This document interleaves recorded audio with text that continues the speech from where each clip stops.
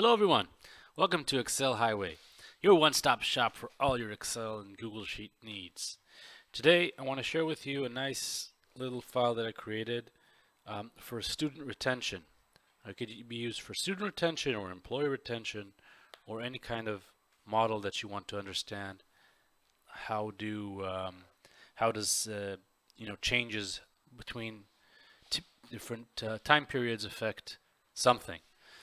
So in this case, I'm giving an example with some sort of a university or college that have students enrolling and students remaining, and they want to understand how many students they're going to have every semester um, or every year.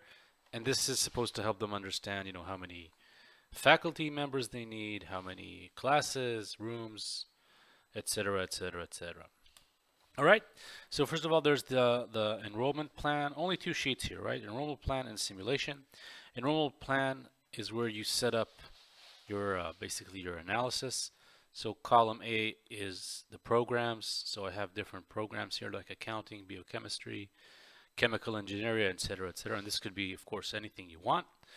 Here I have columns for the semesters. These are going to be the new students that are enrolling.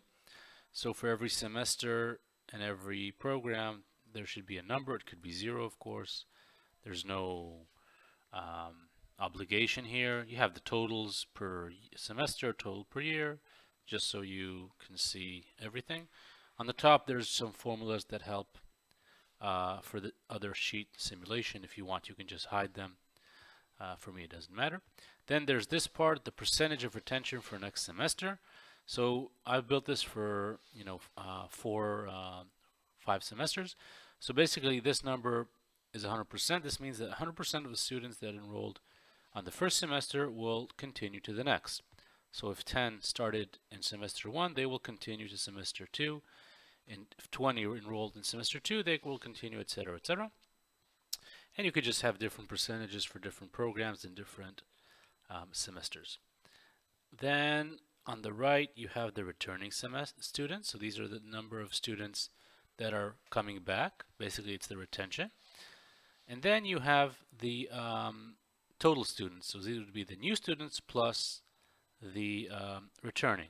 So you can see the returning is taking the uh, uh, information from the simulation, okay, minus whatever the new students, just because the way the formula is built. And the total students is, of course, the two of them put together. And again, you have the totals on top and the total per year. And of course, you can build it however you want. You can use different uh, methods. You could have years instead of semesters. If, you, for example, you build this for employees.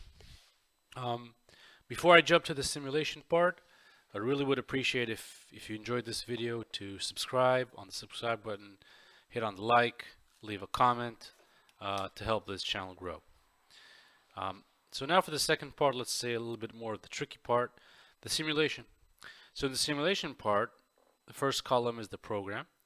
And basically, I want to have five rows for each program because I have five semesters or five changes. Then on the years, I have the first row, which is only showing the new students. Uh, sorry, first semester. And then I have the retention, which is basically the transition between um, the semesters. Okay, see this. So here it's just, and this is where the um, the uh, this value here helps me for the index match. I'm basically combining year and semester and using index match to locate those, that number. That's the first row. The second row is going to take, again, index match, but this time it's going to pull the retention. So it's an index match between these numbers and the program. You can see in the formula. And I'm multiplying it by the last semester. So it's the, the number um, one square up and one square to the left. And I'm using round down. So you could use round up, round, whatever you want.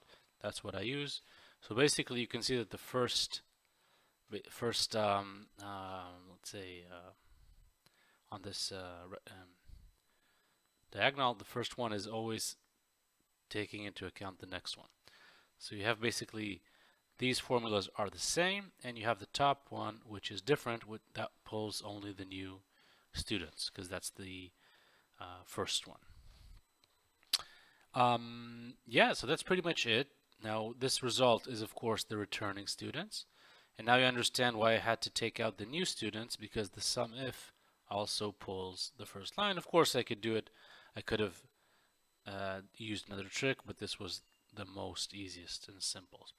So I hope you enjoyed this uh, video. Um, if you did, please subscribe, leave a like, and catch uh, more videos.